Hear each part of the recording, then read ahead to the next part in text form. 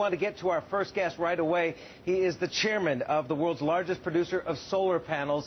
Yes, it is a Chinese company, New York Stock Exchange listed, Suntech Power, and the chairman, Shi Zhengrong. Thank you very much for joining us this morning. Good morning. I have to talk about the big uh, elephant in the room, if you will, and that is the duties imposed by the Obama administration on Chinese makers, including yourself. You're the largest.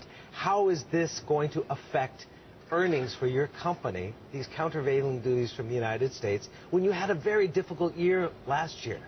Yes, uh, unfortunately, you know, it's uh, very bad news and for the industry. And, uh, you know, we know uh, solar energy is good for, for the future, is good for society, and uh, the industry has, has been working so hard to reduce the cost, and we see the cost is coming down dramatically. But recently, there's, there's this uh, uh, investigation about, uh, you know, countervailing, you know, duty and anti-dumping cases. And, you know, we don't believe there's such a case or any dumping. I think in any way, if it's high or low, you know, this is uh, bad for the industry, bad for manufacturers like us, bad for U.S. consumers, and, uh, and also bad for U.S. renewable energy policy. Is it protectionism? Um, I think so, you know.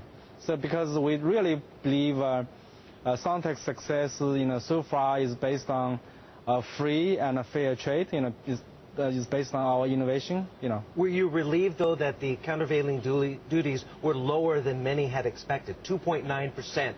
what is going to be imposed on your company, your imports to the United States, it was expected to be about 10%. What does well, that do to margins? Well, that's a pre-ruling, you know, and uh, we don't know the final rate yet. But again, I mean, as I said, uh, no matter it's low or high, it's going to be bad for Suntech, bad for industry, bad for U.S. consumers.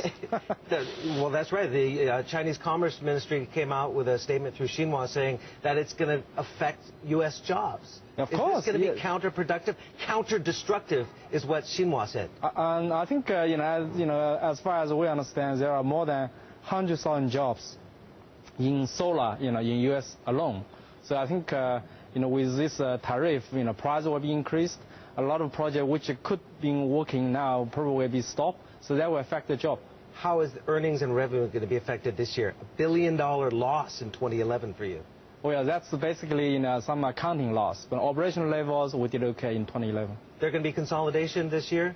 Well, definitely there will be adjustment in the industry. What are you going to buy? Are you going to buy something? You're the big dog. I don't know yet. so how is capacity going to be worked out? There was excess capacity. Yes, definitely there is a overly, you know, oversupply situation here in the industry. 2012 a tough year? Tough year. All right. Good yes. luck to you. Thank you very much. Thank you. Sure, Chairman, sure.